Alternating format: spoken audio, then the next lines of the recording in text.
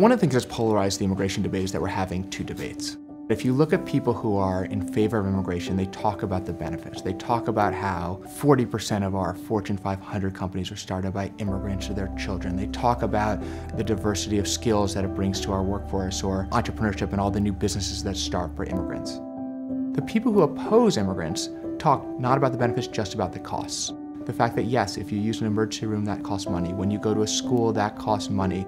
And what ends up happening is that you have two conversations talking past each other. Yes, immigrants have costs and yes, they have benefits, but unless you're measuring both, you're never going to know. But the reality is when you do measure both, immigration is a huge boon to America. It's one of our great competitive advantages.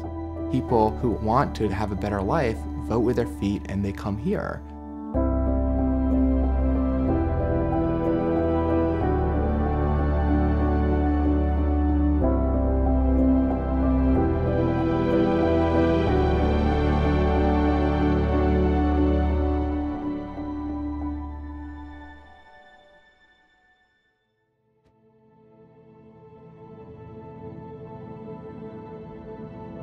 Change is hard.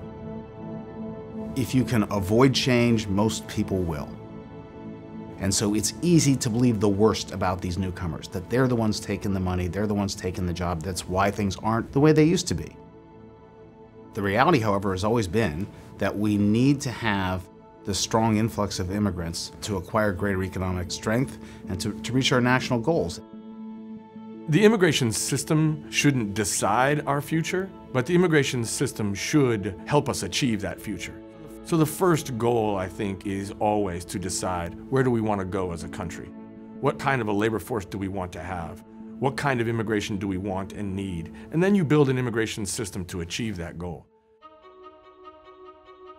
It's been about 20 years that we've really been pushing for a massive change of our immigration laws.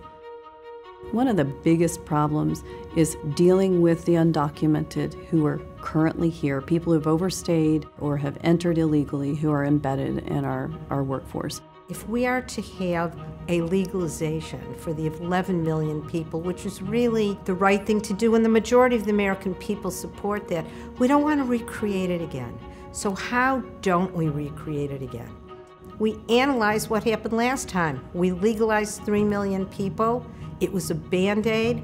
But what about future needs? What about a construction boom and not enough construction workers? What about an agricultural boom? If we couple a legalization program with a reasonable worker program for these people for whom there was a job waiting where there weren't available U.S. workers, we wouldn't recreate the problem of so many undocumented people. The question is, how do you make the case to the American public that the undocumented immigrant population deserves our empathy? Why should they be able to legalize our status? You know, there are criteria to put into place that can show that an immigrant is serving and protecting American values, helping America be safer, and helping us as a country prosper. The undocumented immigrant population should be required to register for legal status. In that registration for legal status, they are passing a criminal background check. So if they've committed a violent crime, they don't belong here, full stop. They should show that they are learning English, in essence, becoming a part of American society. They should show that they are paying their taxes. They call it earned legalization because people have to earn the right to stay here by working, contributing, and not committing crimes.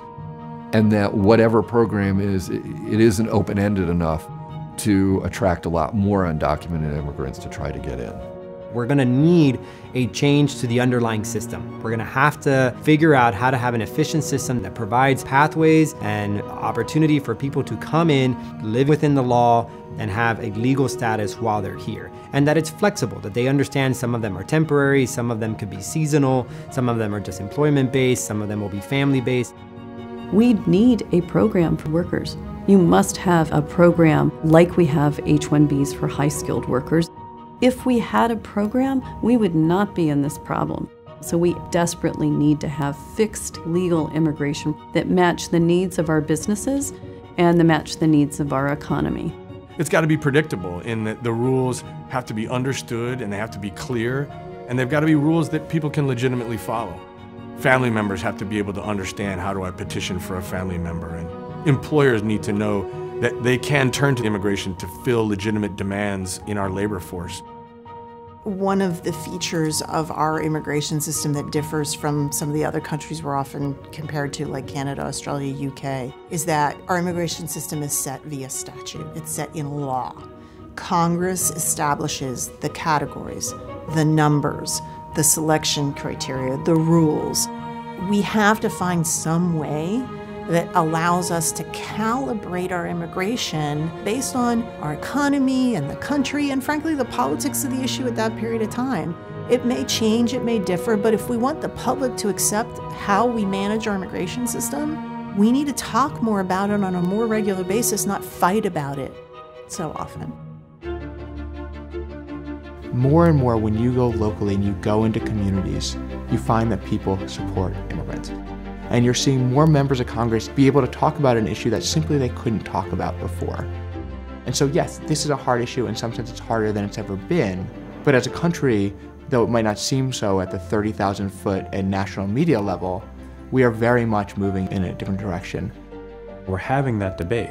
And the fact is, is that more folks from across the political spectrum are looking for an approach that serves their interests, that is within their cultural framework, and that ultimately helps the immigrant that they have come to know and love become an American.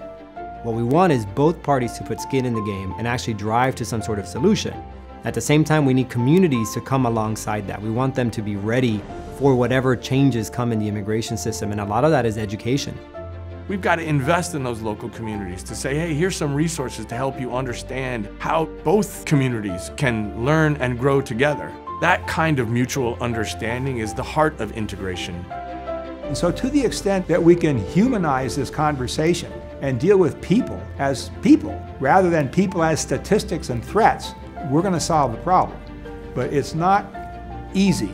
And the responsibility falls on the public. It falls on the media to explain the nuances and not just the hot stories that are capturing people's attention. It falls on readers to really understand the issue to the best of their ability. No, they don't need to become immigration experts, each and every one of them, but they should understand the basics of both sides politicians should be held accountable to what they say they want to do with immigration. They should have legitimate policies. It should not be a popularity contest. These are all big issues that we see in our society, but they infect issues like immigration.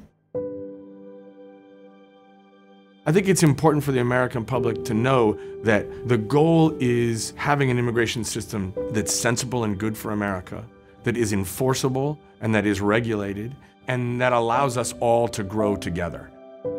When you look at what people think about what is the solution, can we take people who are here, who have been here for years, and give them a path to legal status if they can pass a background check, learn English, pay back taxes, go to the end of the line? Can we modernize our immigration system so that we're bringing in the workers we need to make our economy dynamic while ensuring we're protecting American workers? And can we take control of our border and our employment system to make sure people are hiring legally? That is overwhelming support among both parties in both houses of Congress. And that means that this exhausted majority, this rational middle of the country that is looking for a solution, they have to find the ways, create the ways where their voices are heard. There is a groundswell for a different approach on immigration, and now is the moment where we have to make that choice.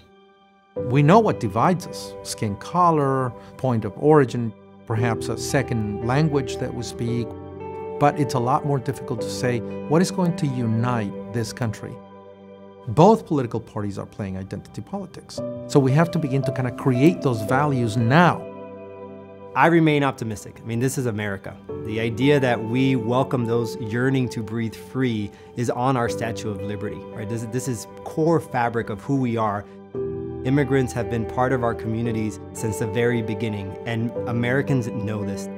We are ready for folks to work together rather than divide. And if we can bring folks together to talk about such a human issue like immigration, I think we're going to hit a home run.